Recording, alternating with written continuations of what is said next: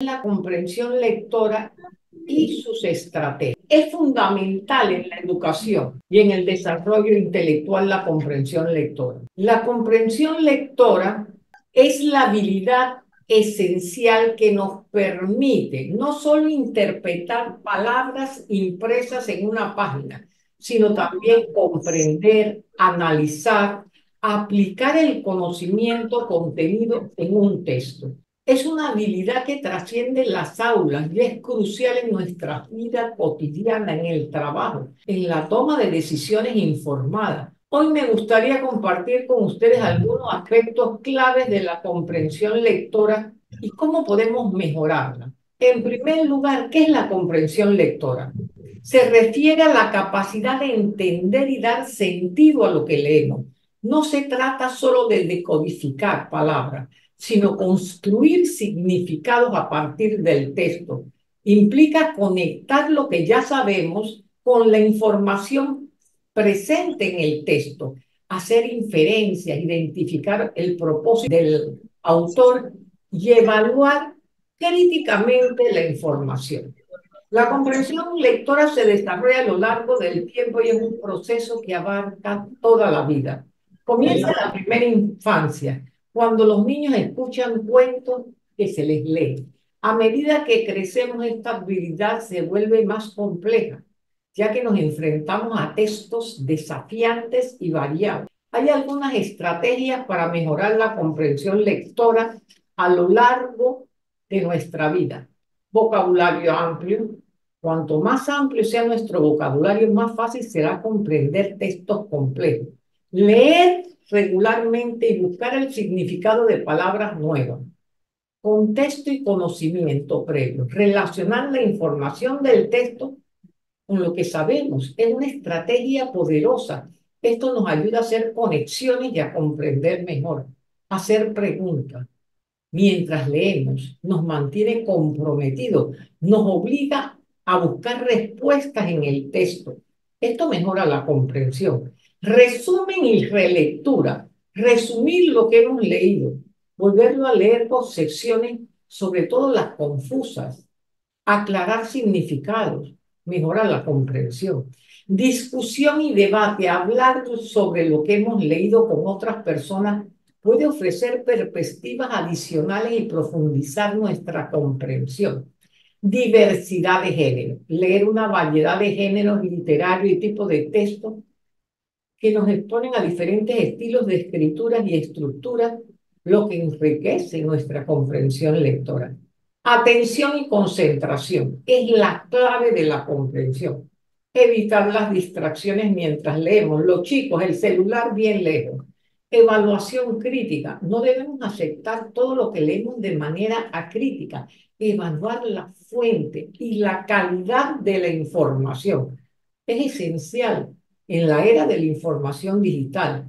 La evaluación crítica es un aspecto fundamental en la comprensión lectora de un mundo donde estamos constantemente expuestos a una gran cantidad de información en línea. Hay algunas pautas para llevar a cabo una evaluación crítica efectiva al leer. Evaluar las fuentes. Antes de aceptar la información y de reenviarla, es importante considerar la credibilidad de la fuente. Pregúntese, ¿quién escribió el texto? ¿Cuál es su experiencia en el texto? En el tema, si tiene un sesgo evidente. Las fuentes confiables pueden ser aquellas respaldadas por instituciones respetadas, expertos reconocidos o publicaciones académicas revisadas por pares verificar la información, no asuma todo lo que lee que es cierto. Si encuentra una información sorprendente o controvertida, busque evidencias adicionales de fuentes confiables para respaldar. La verificación de los hechos es esencial, especialmente en la era de las noticias falsas y la desinformación. Al identificar el sesgo, Muchos autores tienen puntos de vista o agendas que pueden influir cómo le presentan la información. Reconocer el sesgo político, ideológico, comercial puede ayudarlo a entender su contexto y posiblemente cuestionar la objetividad de la fuente, analizar el tono y el lenguaje. Preste atención al tono del texto y el lenguaje utilizado. Un tono sensacionalista, excesivamente emocional, a menudo indica una presentación tendenciosa de los hechos. Compare estos textos que mantienen un tono equilibrado. Utilice un lenguaje claro y objetivo. Busque evidencias, argumentos sólidos. Un texto bien fundamentado debe respaldar sus afirmaciones con pruebas sólidas, datos verificables, argumentos lógicos. Si encuentra un texto que carece de fundamentos sólidos o utiliza argumentos falaces, cuestione su validez. Considere múltiples perspectivas para obtener la comprensión más compleja. Busque diferentes perspectivas. La exposición de variedad de puntos de vista puede ayudarlo a formarse una opinión informada y evitar el pensamiento secado. Pregunte y discute. No tenga miedo de hacer preguntas y discutir lo que ha leído. El diálogo y el intercambio de ideas pueden ayudar a aclarar conceptos y identificar sesgos. Enriquece su comprensión. Evaluación crítica es esencial para discernir la información precisa y confiable de la desinformación y las noticias falsas. Esta habilidad le permite tomar decisiones informadas a partir de manera efectiva en debates y discusiones al aplicar estas pautas al leer puede fortalecer su capacidad de comprensión lectora, convertirse en un consumidor de informaciones conscientes y responsables. Para concluir, enfaticemos que la comprensión lectora es una habilidad fundamental en la sociedad actual. Nos permite acceder al conocimiento, tomar decisiones informadas, comunicando efectivamente cultivar un vocabulario amplio, utilizar estrategias de comprensión, leer de manera crítica, que puedan mejorar nuestra capacidad de comprender y apreciar el poder de la palabra escrita. La comprensión sola no solo enriquece nuestra vida, sino también nos empodera para enfrentar los desafíos de un mundo con sabiduría y conocimiento. Eso es importante que se tenga en cuenta. Yo les he dicho a, los muchachos que bajo ningún concepto reenvíen nada que les hayan mandado por WhatsApp si no han confirmado la noticia, porque entonces contribuimos a la desinformación. Miren, en ocasiones ustedes le dicen que los niños y los jóvenes no tienen comprensión lectora, pero el profesor debe analizar el texto hay escritores oscuros, me explico en su comprensión, con párrafos nebulosos, párrafos de cinco páginas. Ni nosotros mismos lo podemos entender. Si usted como educador y como lector no entiende un texto, es que el escritor no se tomó el esfuerzo de comunicar su idea, su argumento con claridad. Busque otro. Miren, cuando yo veo que yo tengo que regresar, yo tomé un curso que dice en lectura rápida, es lector experto, la capacidad de leer por bloque con excelente comprensión.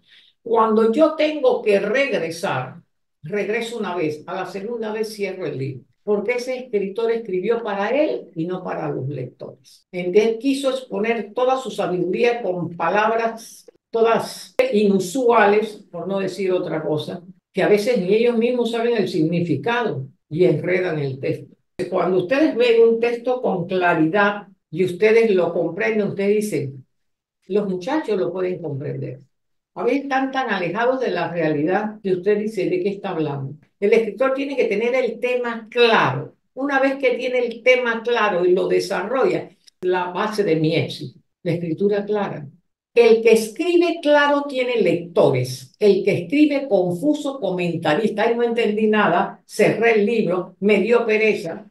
Entonces, si quieren tener lectores, escriban claro. Y el lector no tiene que hacer un esfuerzo para leer. El escritor tiene que atrapar su atención. Miren, en Travesías Mágicas, ¿cuántos niños no se hicieron lectores? Un libro que toca temas profundos con palabras sencillas. Esa siempre es mi última revisión. El deber del que escribe, del que habla, es hacerse entender. A veces dicen, los muchachos no tienen comprensión lectora. ¿Y por qué comprenden, Roberto, por el buen camino? ¿Por qué comprenden travesías mágicas? ¿Por qué comprenden Los Ángeles del Olvido, Niña Bella? Porque tiene un lenguaje sencillo. Evalúen eso. Siempre se dicen que no comprenden. Fíjense en el texto, puede ser que el texto es nebuloso. Yo fijo, lo primero que me fijo, digo, estoy expresándome con claridad. Eso es importante para evaluar la comprensión lectora. Lo que sí tenemos que establecer que los jóvenes no tengan cuando están leyendo distracciones. Este año yo a principio de año voy a hacer una campaña anti-bullying, porque el bullying prospera por la pasividad de los espectadores. Encantada con este grupo. Rosemary Tapia, escritora, con 27 novelas publicadas, creadora del programa sociocultural Siembra de Lectores, que hemos formado 398 círculos presenciales y uno virtual en Facebook que se pueden agregar con 4.800 miembros.